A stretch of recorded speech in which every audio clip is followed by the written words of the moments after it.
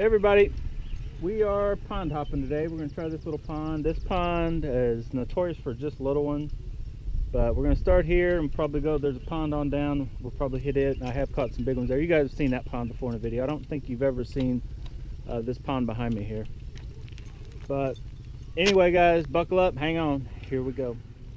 Javier's fishing with me today. He's over into the grass. What do you think? You got one? Whoa! Javier's smacked himself.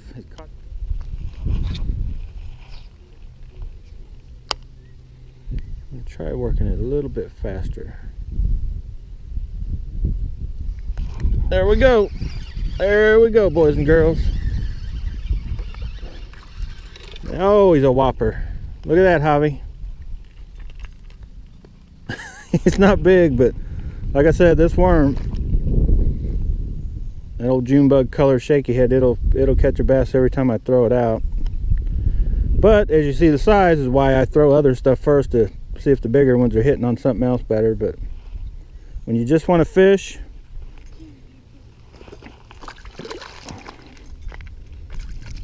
that's the guy to try.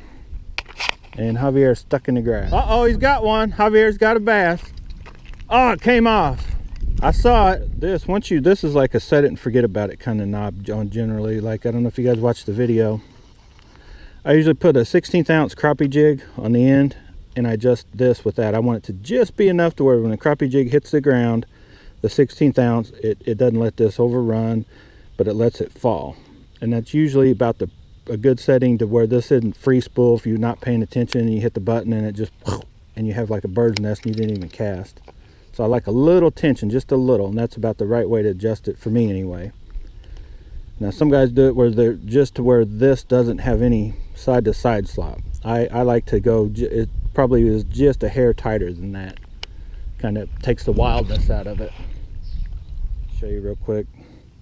If you're not familiar with these Z-Mans, they last forever, but... Uh-oh, he's got another one.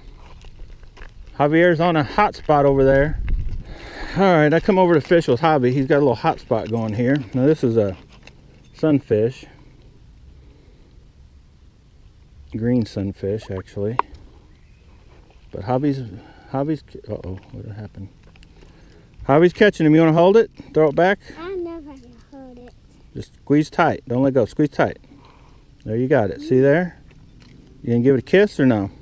No. Okay throw it back uh oh, there he is. He stayed there. Look at him. He's like, I'm not going nowhere. You made him mad, I think. You didn't give him a kiss. All right, guys, uh, we're out of here. It's getting hot. Nothing's really biting, so we're going to take... My eardrums are blown. These things stink when they're inside. so anyway... Goodbye. Uh, we're done.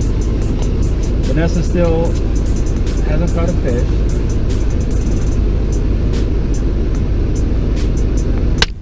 Jesus.